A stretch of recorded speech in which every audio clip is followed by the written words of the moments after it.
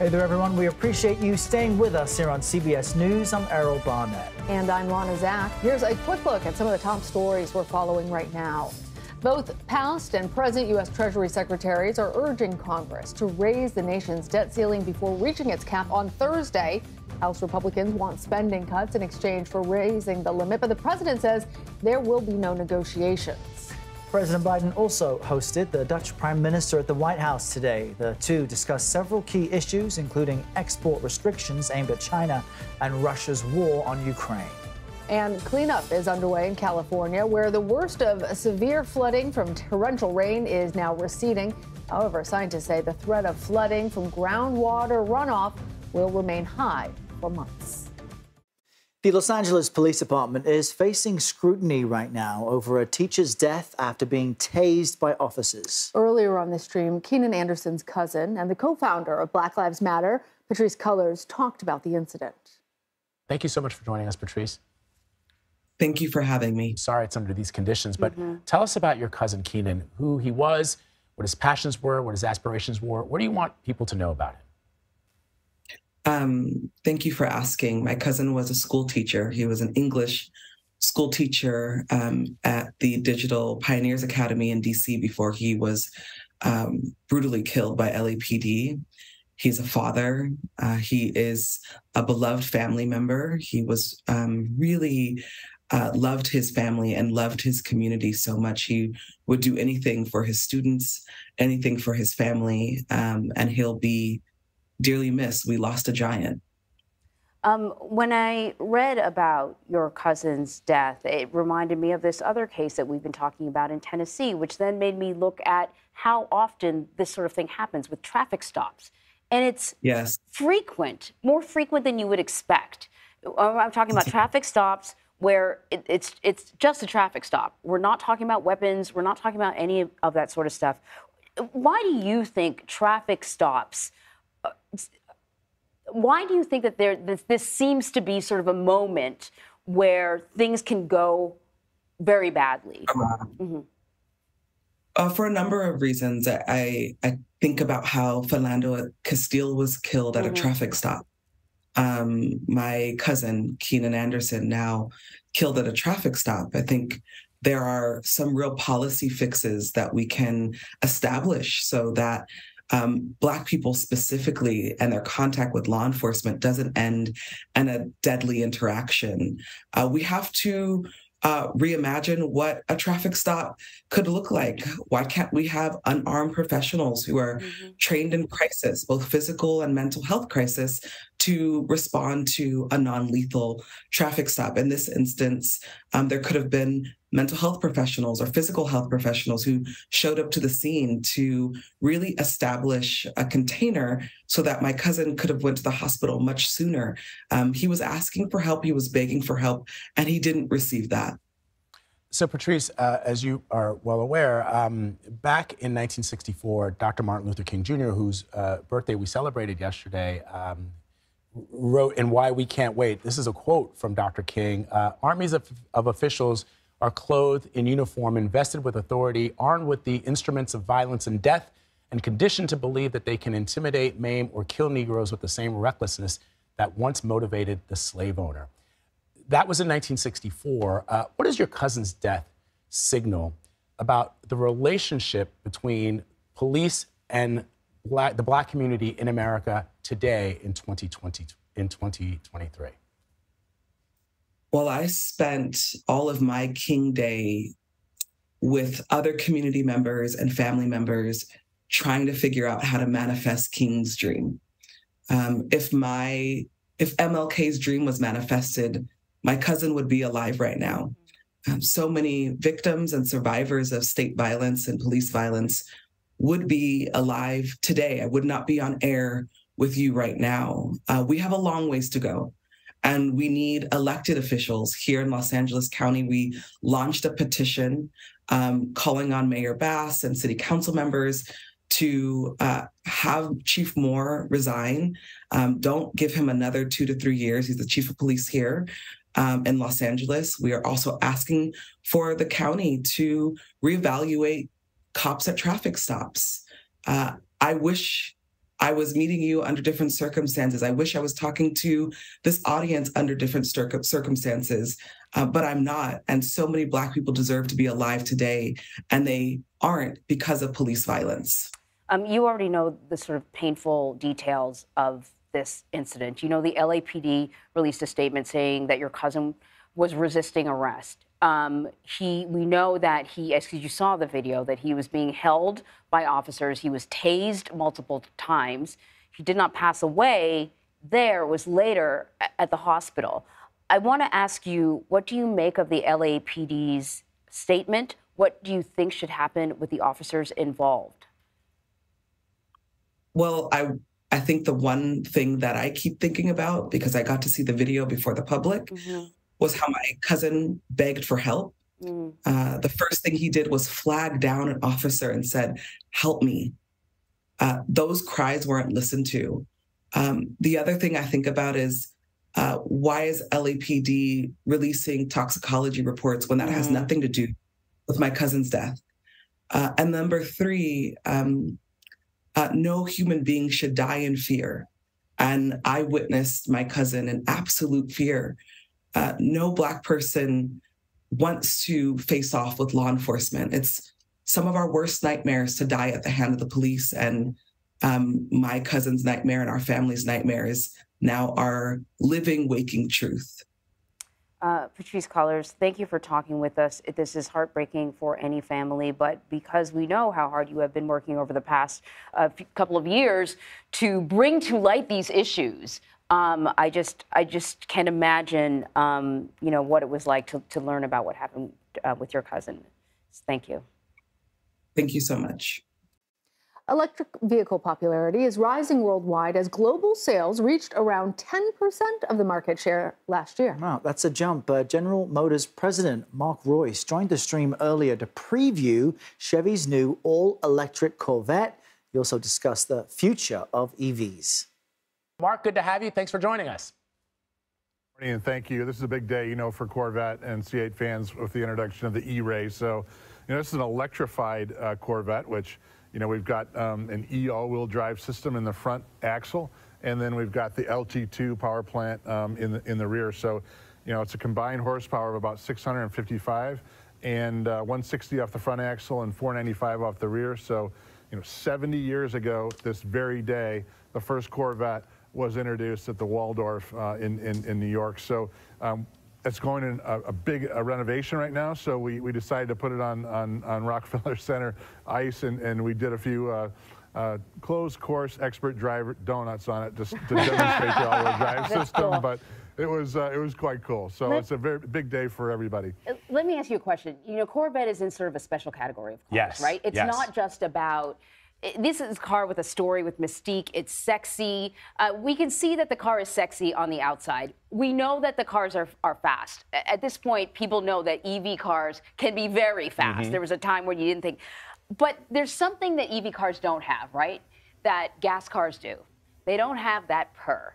We know that Corvettes, right? It's kind She's of like such a, a car. No, like, I, I, hey, yeah, my right. dad's a mechanic, right? So there's a. I, I don't know how you would describe the sound of a Corvette, but I think it's something between sort of a roar and a purr. Yes, it's like a, the purr of a big cat. Yes. Um, and that's some I think, of the I think things. it's a symphony. I, I think it's a symphony. I think that's that's what it is. Right? Is that something you considered when designing this car for those people who are just Corvette you know, enthusiasts. Mm. Are they going to miss that roar? What does this car sound like? Well, this car, this car is, is you know, is a, um, a hybridized, a performance hybrid.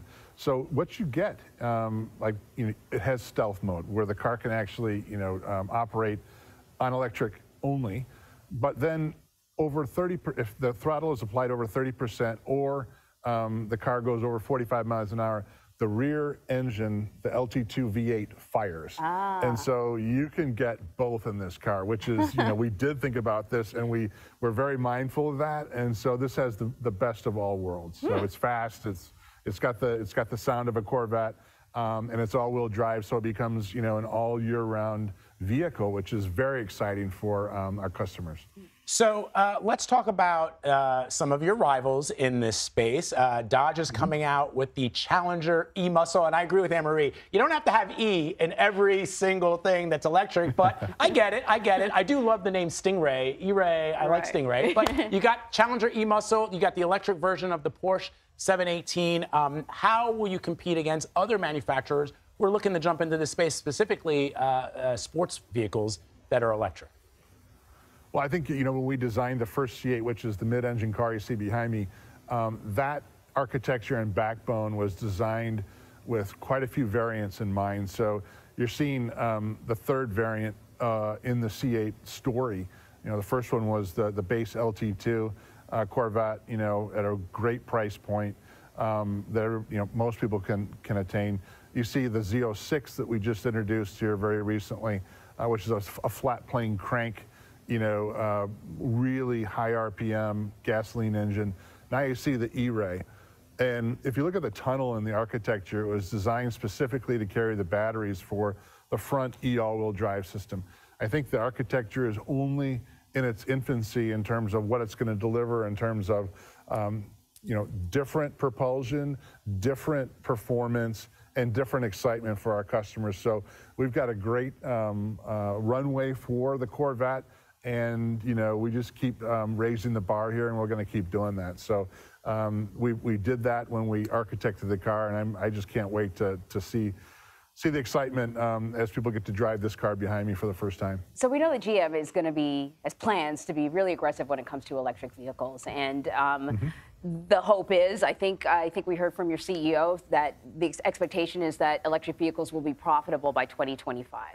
Um, but you know, it's not just providing the vehicles at various price points. A lot of the vehicles are really expensive, but that's one thing. The other thing is the infrastructure. You need places to charge it. Right. The batteries. You need the battery. You need access to the batteries being made here in the U.S. Um, batteries that charge faster. Right now, you know, you minimum 20 minutes, but you're probably you could be there for 40 minutes charging your vehicle. I want to ask you, what else needs to be done to see the explosion of EV vehicles that GM is predicting? yeah i think um, you know uh, and by the way the industry um, is really driving uh, and partnering with um, various different charging companies to do this and um, the power utility companies so there's a there's a, a pretty massive effort um, in fact you know gm by itself is um, installing over 40000 chargers um, at places that are near our dealerships and the municipalities. You know, about 90% of the population lives, um, you know, less than 10 miles away from one of our dealerships. So those 4,000 dealers have a pretty good footprint into everybody's lives that buy and use vehicles. So that's the beginning of it. But I would say, you know, on the, on the speed piece of it, you know, we're one of the few companies that decided three years ago to vertically integrate our cell chemistries, our cell packs. Our first cell plant has now come online here um, very recently in Lordstown, Ohio. The second one will be in Spring Hill, Tennessee, and the third one will be in Lansing, Michigan. So as those cell plants come online, the chemistries are developed in-house and backwardly compatible to all of our electric vehicles. You're going to see things like, you know, 70 percent of the battery pack in 15 minutes. You know, really big numbers. In fact, some of our cars on the road today are 100 miles in about 10 to 15 minutes. So um, these charge times are only going to come down. Uh, and the infrastructure, you know, it's pretty nice when you can uh, charge, you know, either um, in an apartment building or a house or wherever you're, you're living.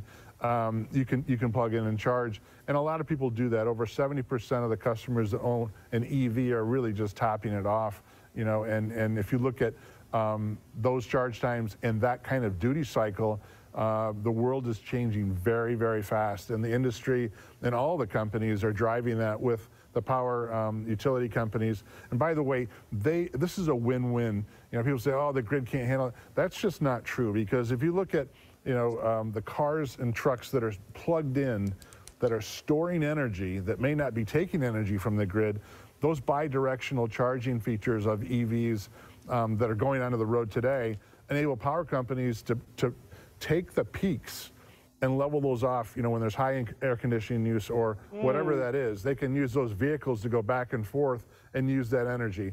And the customers will benefit from that um, because they'll charge, you know, in a, in a less expensive time frame and then give that back to the grid. Uh, and, and, you know, it's a lot, a lot less expensive than power companies actually capitalizing new power plants, mm. um, and, and that's a pretty tough deal. So, so that's a, a, sort of a picture of that. So, Mark, right. real quick before you go in 10 seconds, how much will it cost us? The Corvette.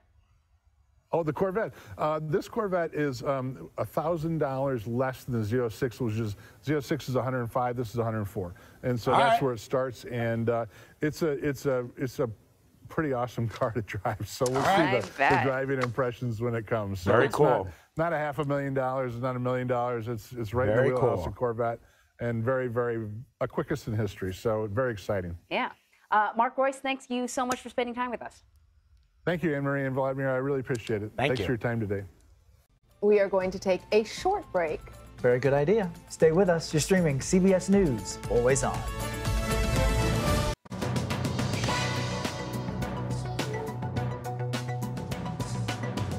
Well, on Monday, you can start turning in your tax returns. Something to look forward to. but, um, or in addition, uh, this tax season looks slightly different. You see, this year's April filing deadline is three, di- three days later because the 15th is a Saturday, and that Monday is Emancipation Day. And any taxpayers affected by the California storms, you'll have until May 15th to file. But there's more to the story. Joining us now to discuss is Amy Picchi. She's the Associate Managing Editor for CBS News Money Watch. Joining us from Burlington, Vermont. Great place to ski if you can. Um, so tell us, Amy, filing dates aren't the only difference. You recently wrote that refunds may be smaller because of COVID relief. Explain what folks can expect. Yeah, thanks, Errol. Yeah, even the IRS is actually warning taxpayers that they may see smaller refunds this year. Um, and the reason is because we had a lot of pandemic related tax breaks, rebates, stimulus checks to help people get through the pandemic those expired last year. So things like the expanded ch- child tax credit um, are gone. I mean, there's still the child tax credit, but it's just a smaller amount. So given all those big benefits that people saw in the last couple of years that aren't around anymore, taxpayer or tax professionals, even the IRS, are saying, you know, don't expect what you got last year. And last year, just remind people, the average tax refund was three thousand two hundred dollars, and that was about fourteen percent higher than normal. Mm. So, um, you know, don't expect that. Uh, well, in, along the lines of all this great news that we're sharing with our viewers, the IRS is also facing a backlog of returns from last year. How's that going to affect taxpayers this season? Yeah, look, during the pandemic, millions of taxpayers struggled with IRS delays. They had trouble getting through to anyone at the IRS. Only one in 10 calls actually got through to an actual person at the IRS last year. And the IRS has been working on this. Um, they have hired 5,000 new customer service agents to answer phones. They are um, upgrading their equipment. They're trying to get through that backlog, but there's still 10 million returns in the backlog right now. And so, you know, what we're hearing is things might be better, but you could still see some delays. You could still get have trouble getting through to the IRS. One thing that tax professionals absolutely recommend is file electronically. Tax uh, tax returns filed in paper are still hard for the IRS to process. So if you can avoid that, file up electronically to get your refund faster. I mean, it's so clear this system is outdated. I mean, the government knows how much you owe. They should send us each a little yeah, document saying as much. There has to be a better way. There's got to be a better way because um, it's too complicated for even educated folks. Um, how will inflation and increased interest rates impact tax filings as well, Amy? Yeah, so this is actually a bright spot for 2023. Thank the IRS. You. well, we need that. We, we, need it, right? Uh, yeah, the IRS has made inflation adjustments for many of its provisions for this year due to the high inflation we saw last year. So, for instance, the standard deduction is going up 7% for 2023. So that means if you're um, a married couple filing jointly, your standard deduction is $27,700 for this year, up from 25,900 last year. Tax brackets are also going up about 7%. And what that means, bottom line, to put this in plain English, is that it will shield more of your income from taxes. So yeah. you actually could owe less this year, but you probably won't see it until your tax refund in early 2024. So just a heads up, but that is a good a good a high point that uh, you know could pay off down the road. All right. Well, I like that we ended it on a slightly better note. Just Amy. read Amy's articles, everybody. You'll be in much better shape. and if you can figure out how to how to make a better system, we would all appreciate it. Amy Picchi, thanks. Thank you, Amy. Thank you.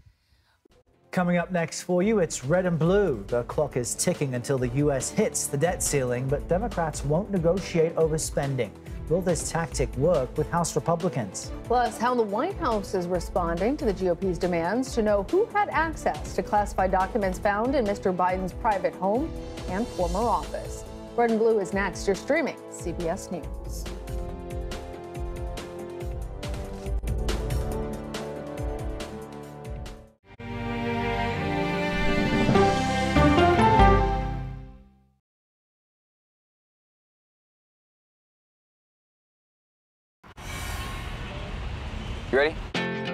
Generation of kids opens up on CBS Reports. I just want to be like a regular kid. Their world, their struggles, their voices. What if